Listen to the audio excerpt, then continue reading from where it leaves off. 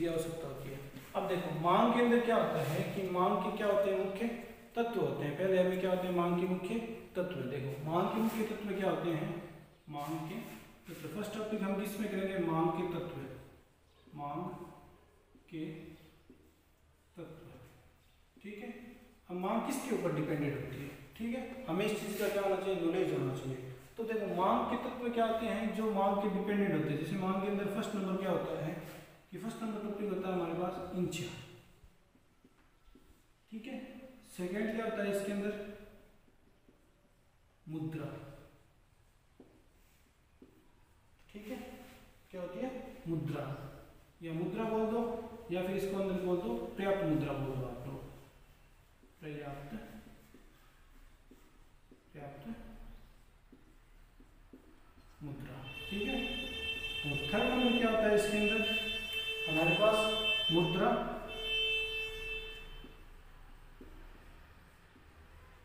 खर्च की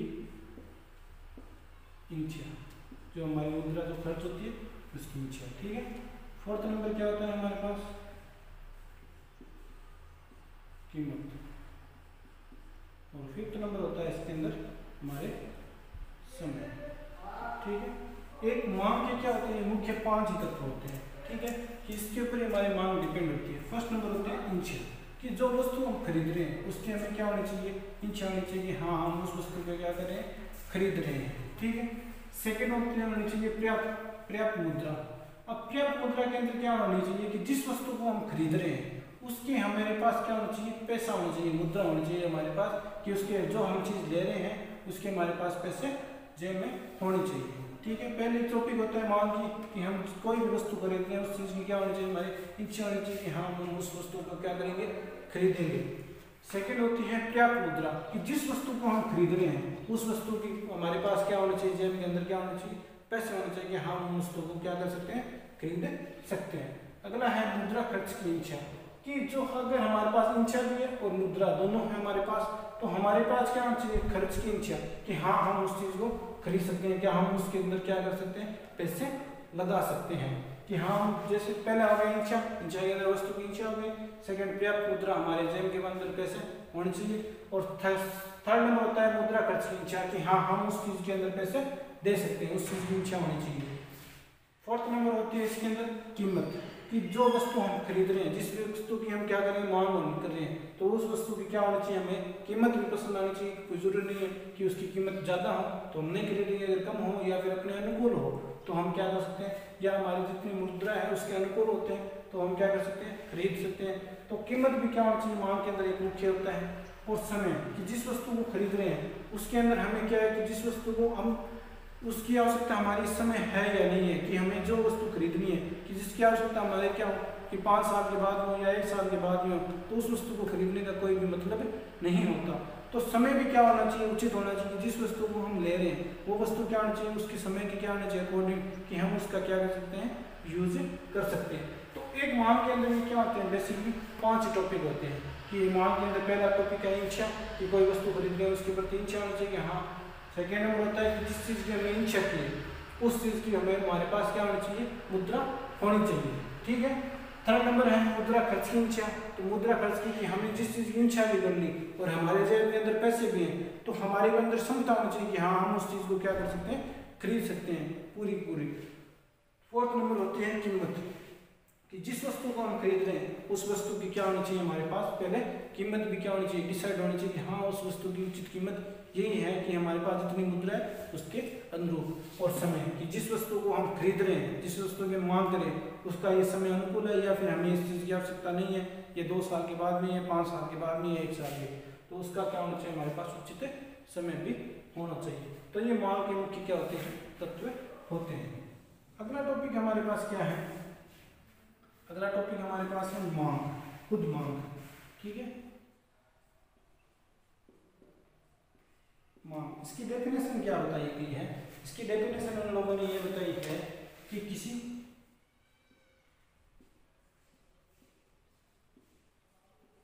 समय किसी समय में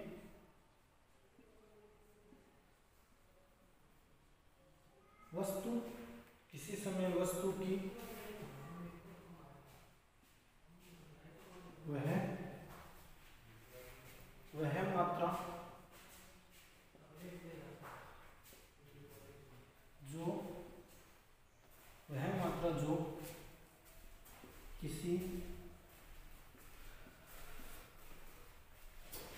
उपभोक्ता द्वारा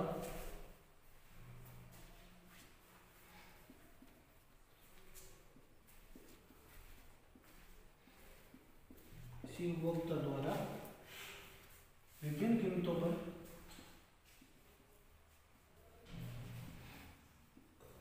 विभिन्न कीमतों विभिन्न कीमतों पर खरीदी जा सके खरीदी जा सके मांग का मतलब हो गया किसी किसी समय में वस्तु की वह मात्रा, जिस जिस, जो किसी उपभोक्ता द्वारा विभिन्न कीमतों पर क्या करें खरीदी जा सके, उसे क्या करते हैं? मांग करते हैं कि किसी निश्चित समय में वह वस्तु जो उपभोक्ता द्वारा विभिन्न कीमतों पर क्या करे, खरीदी जा सके। फॉर एग्ज़ाम्पल हम उठाते हैं इसके अंदर कि जैसे मान लो कि हमने एग्ज़ाम्पल ले लिया कि एक एक कीमत की प्राइस कितनी है? एक रुपये है। तो उसकी डिमांड कितनी होगी? जैसे मान लो कोई व्यक्ति है ये, उसको ले रहा है, कोई वस्तु को ले रहा है मांग है उसकी तो अगर उसकी कीमत एक रुपये होती है तो उसको कितने भी लेते हैं दस रुपये दस पीस ले लेते हैं, उसकी मात्रा कितनी ले सकते हैं? दो दस पीस, दस मात्रा ले सकते हैं। अगर उसकी कीमत क्या हो जाए? दो रुपये हो जाए तो मात्रा में क्या जाएगी? ऑटोमेटिक कमी हो जाएगी। तो उसकी मात्रा कितनी हो जाएगी? आठ रुपये आठ हो जाएगी मात्रा। अब उसी कीमत, उसी वस्तु की कीमत अगर तीन रुपये होती है तो उस वस्तु की मात्रा कितनी आ जाएगी? छः रुपये तो कहने का मतलब होता है कि वह किसी समय में, किसी समय में वस्तु की वह मात्रा, जो उपभोक्ता विभिन्न कीमतों पर क्या कर सकते हैं, खरीद सकते हैं। कि जैसे मान लो कि किसी वस्तु की कीमत क्या हो अलग अलग रखते हैं कि अगर वस्तु की कीमत एक रुपये है तो व्यक्ति कितनी मात्रा खरीद सकता है उसकी? दस मात्रा खरीद सकता है। अगर उस कीमत की, उसकी मात्रा कीमत दो रुपये तो उसको कितने कितने खरीद सकता है वो? आठ पीस खरीद सकते हैं। और अगर उसकी क्या है, कीमत तीन रुपये तो उसकी मात्रा कितनी खरीद सकता है? तीन। तो विभिन्न वस्तु की एक वस्तु की क्या है? विभिन्न मात्रा। अगर उसकी प्राइस में क्या हो रहा है? चेंजिंग हो रहा है तो वस्तु की डिमांड में भी क्या हो रहा है? ऑटोमेटिक है। चेंजिंग हो रहा है। ये होता है मांग। ठीक है? अब हम अगला उठाते हैं इसके अंदर। बाज़ार मांग। ठीक है? बाज़ार मांग। ठीक है? बाज़ार मांग के अंदर क्या होता है कि किसी वस्तु किसी समय में, किसी समय में वस्तु की वह किसी वस्तु, किसी निश्चित समय में, किसी निश्चित समय में वस्तु की वह मात्रा, जो वह मात्रा वह मात्रा जो समस्त वह मात्रा जो समस्त भोक्ता जो समस्त उपभोक्ता द्वारा द्वारा विभिन्न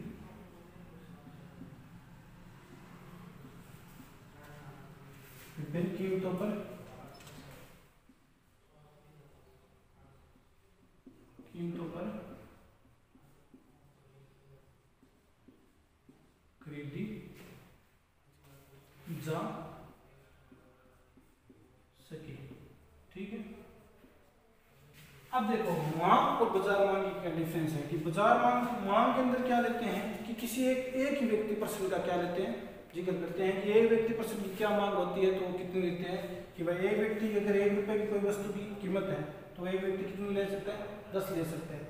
लेकिन अब ये चीज़ क्या रहती है? बाज़ार मांग के अंदर आ जाती है। तो बाज़ार मांग के अंदर क्या जाती है कि सारी चीज़ सेम होती है कि वस्तु किसी समय में वस्तु की वह मात्रा जो समस्त उपभोक्ता समस्त उपभोक्ता मतलब जितने बाज़ार के अंदर उपभोक्ता है, जो वस्तु को क्या करें, खरीद रहे हैं, उसके द्वारा विभिन्न कीमतों पर क्या करी जा सकती है, खरीदी जा सकती है। इसका मीन क्या हो गया कि फॉर एग्ज़ाम्पल क्या ले लिया कि जैसे मान लो कि एक व्यापार, एक बाज़ार के अंदर तीन उपभोक्ता है ए बी और सी ठीक है?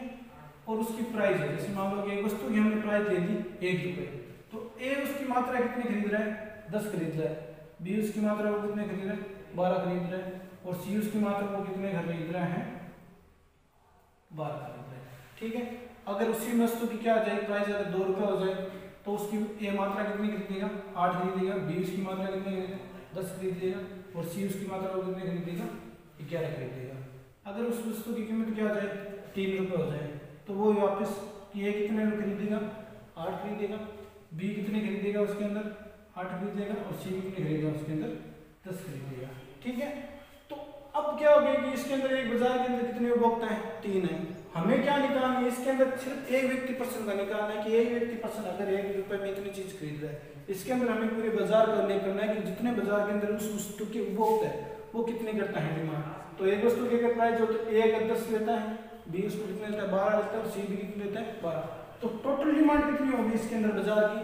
कि टोटल डिमांड हो गई कि इसकी टोटल डिमांड हो गई हमारे पास थर्टी फोर अगर एक रुपया हो तो पूरी बाज़ार के अंदर मांग कितनी होगी उस वस्तु की?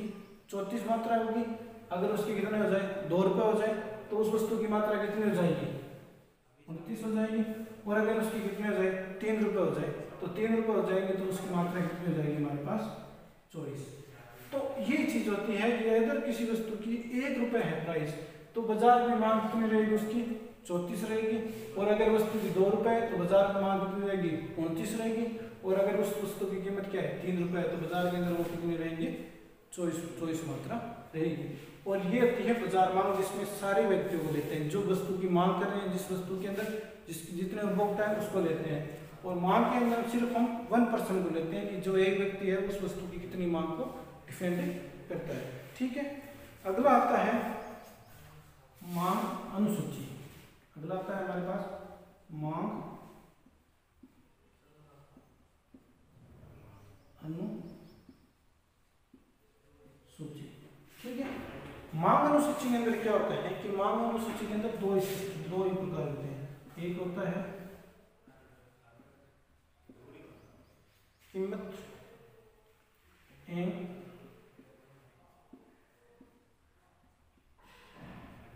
कीमत एवं मांग में संबंध। संबंध। ठीक है? और दूसरा क्या होता है? कि मांग को प्रभावित करने वाले, मांग को प्रभावित प्रभावित करने, मांग की वस्तु को प्रभावित करने वाले स्थायी तत्व वाले अन्य वाले अन्य तत्व है ठीक है अब मांग अनुसूची के अंदर क्या कहते हैं कीमत एवं मांग के बीच में संबंध कि क्या संबंध होता है कि अगर कीमत क्या होती है? संबंध का मतलब हो गया कि यदि कीमत बढ़ती है तो मांग क्या होती है? ऑटोमेटिक क्या हो जाती है? कम हो जाती है। ऋणात्मक या धनात्मक की कोई ज़रूरी नहीं कि कोई वस्तु की अगर मांग क्या हो जाती है, कम होती है तो उस वस्तु की क्या होती है? डिमांड भी क्या हो जाती है। कीमत कम होती है तो डिमांड बढ़ जाती है और अगर कीमत क्या जाती है, ज़्यादा होती है तो उसकी डिमांड क्या हो जाती है? ऑटोमेटिक कम हो जाती है। अब मांग को प्रभावित करने वाले अन्य तत्व कौन से होते हैं? मांग को प्रभावित करने वाले तत्व यही होते हैं कि अगर हम उस वस्तु की क्या कर रहे हैं इंचा है। अगर हमें उस वस्तु की इंचा है, तत्व यही होते हैं कि अगर हमें उस वस्तु की इंचा है तो हमारे पास क्या है? अगर मुद्रा नहीं है तो हम उस वस्तु को नहीं ले सकते। यदि हमारे पास ये दोनों चीज़ें हैं तो अगर उसकी खर्च करने की इच्छा नहीं होती तो ये क्या करते हैं कि व्यक्ति की मांग मांग को क्या करते हैं? इफ़ेक्ट पहुंचाते हैं कि अगर कोई व्यक्ति है, जिसकी इच्छा है उस चीज़ को खरीदने की लेकिन उसके पास क्या है? पैसे नहीं है। अगर उसके पास पैसे हैं तो वो खर्च नहीं सकता। तो वही चीज़ें क्या होती हैं कि मांग को प्रभावित करते हैं। या फिर और क्या होते हैं? कीमत और मांग के बीच में क्या होना चाहिए? संबंध होना चाहिए। चाहे धनात्मक हो, चाहे ऋणात्मक हो, चाहे ठीक है? अब मनुसूची अब मांग अनुसूची कितने प्रकार की होती है? मांग अनुसूची क्या होती है? मांग अनुसूची क्या होती है कि मांग अनुसूची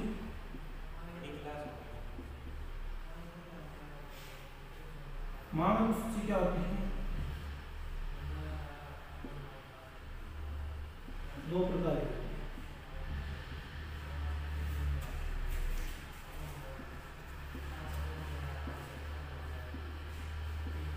ठीक है? फ़र्स्ट नंबर क्या होगी? व्यक्तिगत मांग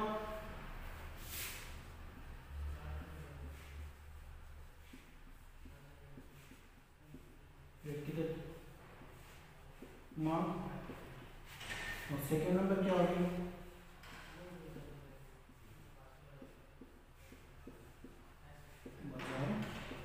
मांग ठीक है व्यक्तिगत मांग और बाज़ार मांग अनुसूची अब देखो व्यक्तिगत मांग के अंदर क्या लिया गया है?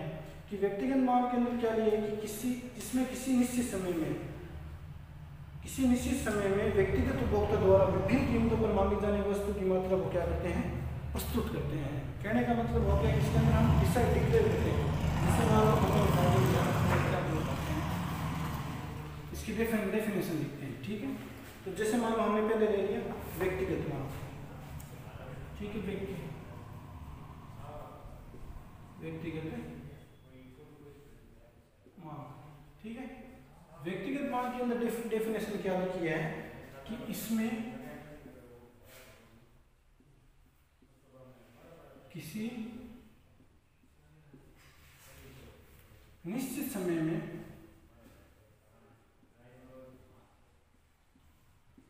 निश्चित किसी निश्चित समय में व्यक्तिगत किसी निश्चित समय में व्यक्तिगत उपभोक्ता व्यक्तिगत उपभोक्ता द्वारा द्वारा विभिन्न व्यक्तिगत किसी इसमें किसी निश्चित समय में व्यक्ति उपभोक्ता द्वारा विभिन्न कीमतों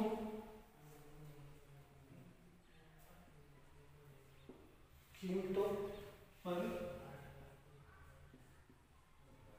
पर मांगी गई कीमतों पर मांगी जाने वाली जाने वाली वस्तु की मात्रा को प्रस्तुत करती ठीक है? अब देखो डेफिनेशन क्या दी कि व्यक्तिगत मांग के अंदर क्या है इसमें किसी निश्चित समय में ठीक है? व्यक्तिगत उपभोक्ता द्वारा विभिन्न कीमतों पर मांगी जाने वस्तु की मात्रा की प्रस्तुत करती है। ये चीज़ और ये चीज़ क्या है? सेम ही है, ठीक है? मांग और व्यक्तिगत मांग में क्या चीज़ सेम है कि वही चीज़ कह रहा है कि यदि कोई व्यक्ति एक रुपए एक उसकी प्राइस कितनी है? एक रुपए तो उसको कितने रुपए प्रस्तुत करेंगे? डिमांड कितनी हो जाएगी उसकी? दस रुपए दस क्या हो जाएगी? मात्रा हो जाएगी। वही चीज़ है। यदि एक चीज़ की प्राइस एक रुपये तो उसकी व्यक्तिगत डिमांड कितनी हो जाएगी? मान पंद्रह हो जाएगी। और यदि दो रुपये हो जाती है तो इसकी व्यक्तिगत डिमांड कितनी हो जाती है? तीन रुपये तो जो डिमांड होती है, उसको हम क्या कर सकते हैं? प्रस्तुत करते हैं। उसे क्या कहते हैं? व्यक्तिगत मांग कहते हैं कि जैसे जैसे मान लो कि किसी वस्तु की प्राइस क्या हो रही है? बढ़ रही है। जैसे मान लो तीन रुपये कर दी तो उसकी डिमांड भी क्या हो जाएगी? ऑटोमेटिक क्या हो जाएगी? कम हो जाएगी। उसकी मात्रा कितनी हो जाएगी?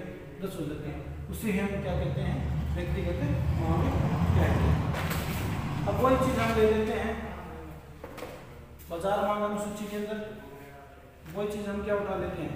अब फ़र्स्ट नंबर हो गया व्यक्तिगत मांग, कि हमने किसी व्यक्ति का निश्चित परसेंट व्यक्ति का ले लिया, कि भाई एक व्यक्ति, एक एक व्यक्ति कोई चीज़ को खरीदता है, जैसे एक रुपये उसकी प्राइस है तो उसकी डिमांड कितनी होगी? पंद्रह होगी, उसकी मात्रा कितनी हो जाएगी? पंद्रह वस्तु की अगर उसकी प्राइस दो रुपये हो जाएगी तो उसकी मात्रा कितनी होगी? तो इसमें किस चीज़ को शो किया है डिमांड यदि एक रुपये होती है तो वस्तु की क्या डिमांड रहती है? यदि दो होती है तो उस वस्तु की क्या डिमांड रहती है? और तीन होती है तो उस वस्तु की क्या रहती है? क्या डिमांड रहती है? उसको क्या करते हैं? सह संबंध क्या करते हैं? प्रस्तुत करते हैं। कीमत की मांग क्या करते हैं? सह संबंध की। यदि कीमत बढ़ रही है तो उसकी डिमांड भी क्या हो रही है? ऑटोमेटिक कम में हो रही है। ठीक है? अगला है इसके अंदर।